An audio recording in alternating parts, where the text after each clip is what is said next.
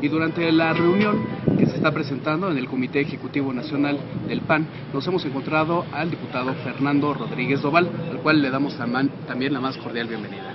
Hola, ¿qué tal? Muy buenas tardes. Un saludo.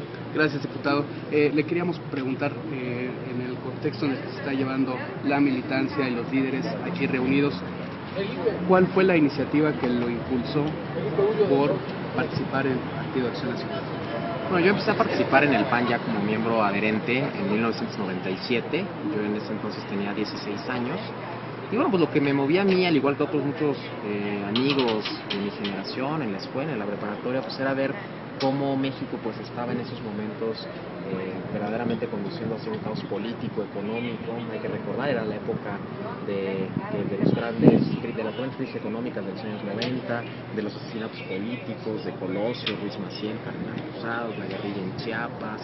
En fin, era una época donde verdaderamente había pues mucho malestar en la, juventud y nosotros rápidamente volteamos a ver al PAN y lo veíamos como un partido democrático, como un partido honesto, como un partido limpio, como un partido que tenía una propuesta para México y pues la verdad es que no lo dudamos, nos, metimos al PAN, era además la campaña aquí en el DF de Carlos Castillo Peraza, un gran ideólogo, un gran pensador, un gran líder y bueno, pues la verdad es que, empezamos a participar y desde entonces hemos seguido y bueno, pues ahora, aquí estamos.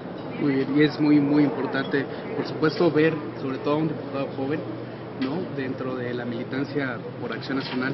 Eh, de, bajo este contexto, ¿cuáles son sus expectativas dentro del partido, diputado? Bueno, yo creo que todos los militantes del PAN tenemos que tener muy claro que si participamos aquí es porque vemos al PAN como un instrumento de cambio, como un instrumento de bien común en la política mexicana. Eh, teniendo eso claro, bueno, pues ya después todo lo demás va a venir por añadidura. A veces nos tocará desempeñar algún cargo de elección popular, como es mi caso en este momento. Habrá veces que nos tocará tener algún cargo, alguna responsabilidad en el partido. Otras veces como simples militantes en nuestros comités delegacionales o municipales. Yo tenemos que estar preparados para todo eso. Aquí lo importante es que veamos que Acción Nacional es un instrumento al servicio de México y no un instrumento para satisfacer ambiciones personales. Yo creo que si tenemos claro eso, pues estaremos regresando a esos orígenes del PAN donde verdaderamente había un gran altruismo en la participación política y verdaderamente Acción Nacional era percibido por todos los mexicanos como un gran instrumento y, como una gran esperanza para el cambio y para la democratización del país. Antes de concluir, diputado, algo que, que les quiera participar a través de la Cámara a todas las personas, a todo el auditorio que están sintonizando PAN TV. Bueno, yo lo que les diría es que retomemos esos ideales que dieron origen al PAN, que seguramente a todos nosotros en algún momento, sin pensar en si alguna vez íbamos a tener algún cargo público o algún cargo del partido, nos llevó a participar en, en este, ¿no?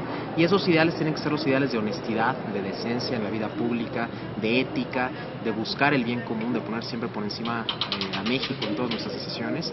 Teniendo eso claro, vamos a ser distintos ante la ciudadanía y la ciudadanía nos va a volver a percibir como un, como un instrumento para el bien común. Si no hacemos eso, bueno, pues más bien nos estaremos pareciendo a los demás partidos, entonces la gente ya no encontrará ninguna distinción entre lo, que, entre lo que el PAN simboliza y lo que el PAN representa en todas las demás opciones políticas.